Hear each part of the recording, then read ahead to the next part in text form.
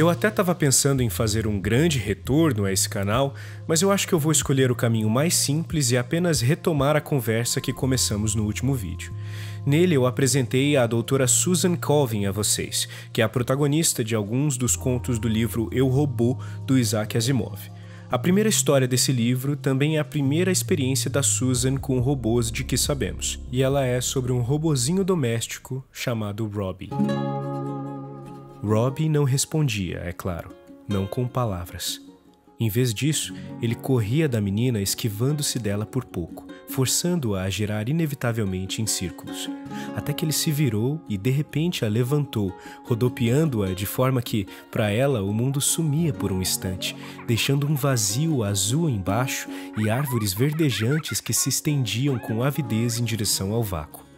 Então, ela voltou à grama uma vez mais, encostada na perna de Robbie e ainda segurando um de seus dedos metálicos.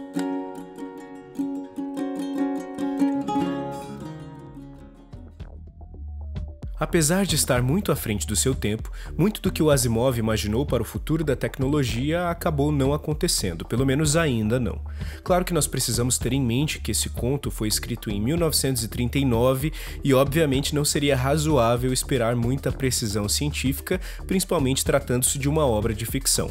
Mas o fato é que o tempo que ele imaginou que levaria para a humanidade chegar a essa grande revolução robótica que ele descreveu não condiz com a nossa realidade. Nesse livro, no ano de 1996, os robôs já estariam presentes dentro das casas das famílias ricas, desempenhando funções domésticas, o que obviamente não aconteceu é que no universo criado pelo Asimov, a tecnologia moderna fez um caminho completamente diferente da nossa.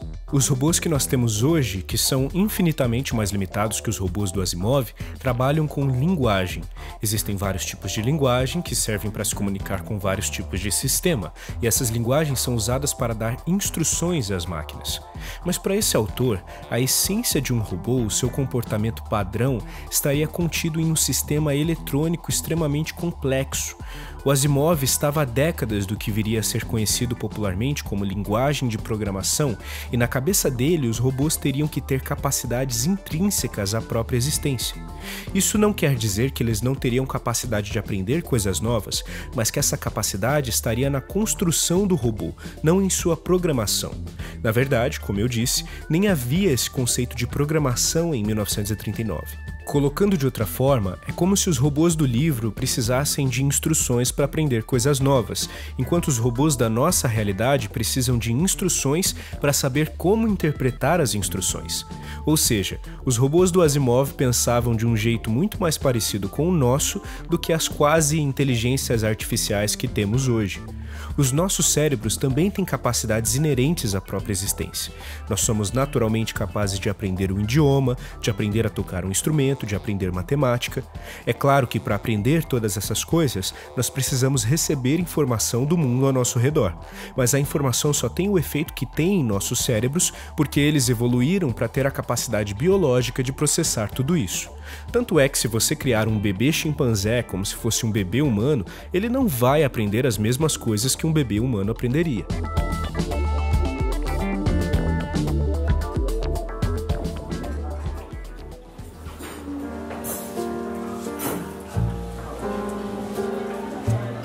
Na época em que compramos o Rob, tivemos uma longa conversa sobre o seu funcionamento.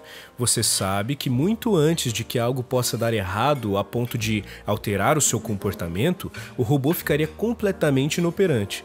A chance de qualquer coisa dar errado com o Rob não é maior ou menor do que a chance de eu e você ficarmos loucos.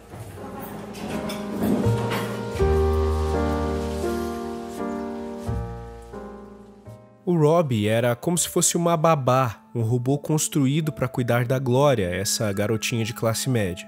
O que você acabou de ouvir foi o pai da menina explicando para a mãe o porquê de não precisarem ter medo de deixar a filha com o robô. Como ele disse, seria impossível que o robô fizesse mal à Glória, era algo que iria contra a sua natureza. Só que o Robbie, assim como todos os primeiros robôs do Asimov, não tinha capacidade de falar. Isso porque, como vimos, o Asimov acreditava que a capacidade intelectual de um robô dependia da qualidade de sua construção, assim como qualquer outra espécie biológica é tão inteligente quanto o tamanho e a capacidade de processamento de seu cérebro permitem.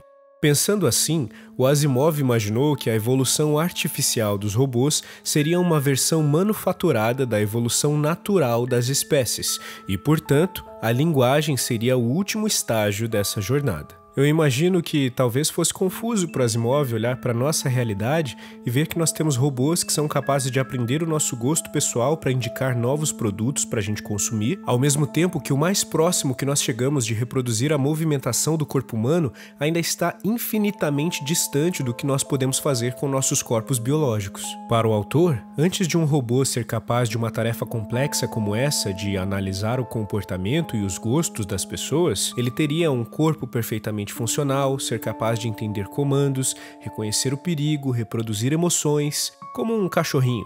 É assim que ele descreve o Rob, inclusive. Não fisicamente, é claro. Fisicamente, ele era uma máquina humanoide, sim, mas que não comunicava nenhuma ternura. Sua superfície metálica estava sempre fria, seus olhos sempre estáticos, e os sons que as suas articulações faziam lembravam muito mais uma máquina industrial do que um amigo mas o seu comportamento é doce. O modo como ele expressa as emoções é sincero. Apesar de ser pesado feito uma geladeira, ao brincar com a garotinha ele se movia com uma pena sensível à mais leve brisa. Ao reencontrá-lo, Glória se agarrou ao pescoço do robô com tanta força que teria asfixiado qualquer outra criatura que não fosse de metal. Os braços de Rob, que poderiam dobrar uma barra de aço como se fosse nada, envolviam a garotinha com delicadeza e ternura. Está bem, disse a mãe. Ele pode voltar e ficar conosco até enferrujar.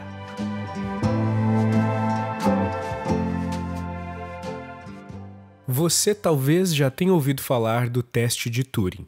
Se não, eu explico. Uma pessoa entra em uma sala completamente fechada.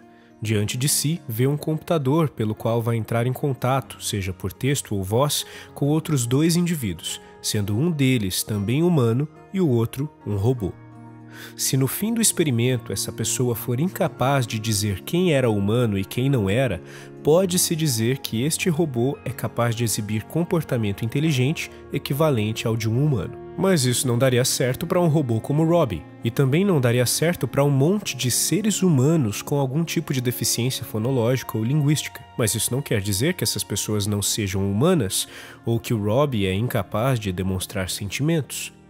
É muito comum reduzirmos indivíduos ao que eles dizem, e de fato, o que nós dizemos diz muito sobre nós, mas não tudo.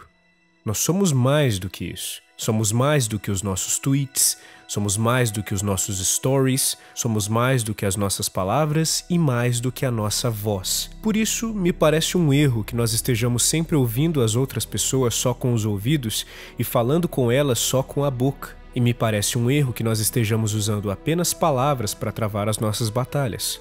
O amor e a guerra precisam de corpos. Não dá para amar da boca para fora e nem mudar o mundo só com discurso. Por isso, eu gostaria que você se lembrasse de que não é a sua voz que te torna humano. Existe uma infinidade de coisas que você pode fazer, que você pode ser com o seu corpo. Não importa se ele é de metal ou de carne, não importa o tamanho, nem a força, nem a cor. Se você tem um corpo, você existe, você está vivo. Quem tem corpo pode levantar o punho nas ruas como se fosse uma espada, ou se tornar um escudo para os mais fracos, ou abraçar os solitários, ou pisar em cima do ódio. Você não é apenas uma voz.